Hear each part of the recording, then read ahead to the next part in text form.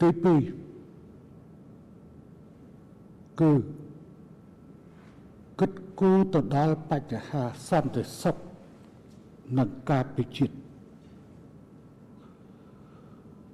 យើងត្រូវឃើញថាតំបន់នេះ ជាតំបន់ងាយស្រួលនៅក្នុង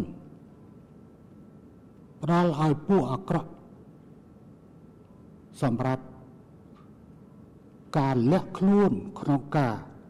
ជាពិសេសការរត់ពន្ធមនុស្សរត់ពន្ធគ្រឿងញៀនការកាប់ឈើខុសច្បាប់រហូតដល់មានចលនាប្រដាប់អាវុធដូចជានៅវៀតណាមមាន full row នៅឡាវមានវាងប៉ាវក្នុងពេលដែលកម្ពុជានៅពេលនោះ ទើបនឹងបានទទួលនៅសន្តិភាពថ្មីថ្មោងក្នុងឆ្នាំ1999យើងទទួលនៅសន្តិភាពដែលយើងកំណត់ថាជាទិវាសន្តិភាពនៅថ្ងៃទី29ខែធ្នូឆ្នាំ1998កំណត់ពួយប្រាំដែលខ្ញុំប្រកាសណាខ្ញុំស្នើនេះគឺជាកំណត់ពួយដើមដើម្បីធ្វើយ៉ាងម៉េចកុំឲ្យតំបន់ដែល ខាងយើងក៏ពិបាកលូកទៅដល់ខាងវៀតណាមក៏ពិបាកលូកទៅដល់ខាងឡាវក៏ពិបាកលូកទៅដល់คล้ายទៅជាតំបន់ជំរកលាក់ខ្លួននៃពួកខលខូចឬពួកទុច្ចរិត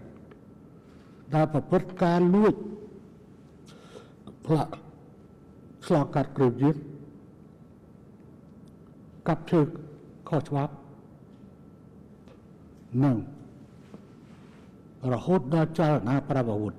ហើយរឿងនេះវាបានកើតពិតប្រកបយើងតែងប្រាប់ទៅខាងពេទ្យគីវៀតណាមថាសុំជួយសហការនិងកុំឲ្យខាងឈ្មោះវៀតណាមទិញឈើដែលកាប់ខុសច្បាប់ចេញពីទឹកដីកម្ពុជាឡាវក៏បានជួយទប់ស្កាត់ការកាប់ឈើ យកចេញពីខេត្តចឹងតែងឆ្លងកាត់ប្រទេសឡាវទៅកាន់ប្រទេសថៃ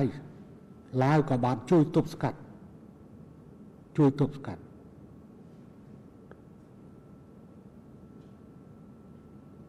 ចំពោះចលនាប្រវត្តិគេបានដឹកហើយថា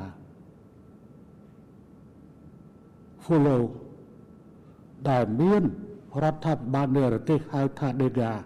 ហៅថាពួកពួក ដែលជាមេដឹកនាំកុកសដែលមានជនម្នាក់បានទៅចុះហត្ថលេខាបកគលខេត្ត4ហើយពួកគេនេះគឺមានចលនាប្រវត្តិរហូតដល់ប្រមាណខែមុននេះកន្លងទៅរយៈពេលប្រហែលទៅជាឆ្នាំទៅនៅមានការវាយប្រហារទៅលើ រដ្ឋបាលទៅលើមន្ត្រីឃុំនិងនគរបាលធ្វើឲ្យមនុស្សស្លាប់និងរបួសយ៉ាងច្រើនហើយគឺតែងរត់មកជ្រកកោននៅក្នុងទឹកដីរបស់យើងសូម្បីតែប្រហែលខែមុននេះក៏ក្រោយការវាយប្រហារនៅក្នុងទឹកដីវៀតណាមហើយពួកនេះបានរត់ឆ្លងចូលមកក្នុងទឹកដីរបស់យើងទឹកដីរបស់យើងក្នុងពេលនោះដែរ កាលពីឆ្នាំ1999ពួកវាងប៉ាវដែលជាចលនាប្រដាប់អាវុធប្រឆាំងនៅឡើយក៏នៅសេសសល់នៅឡើយចឹងយើងត្រូវតែមានការប្រុងប្រយ័ត្នទៅលើចំណុចអស់ទាំងនេះអស់ទាំងនេះ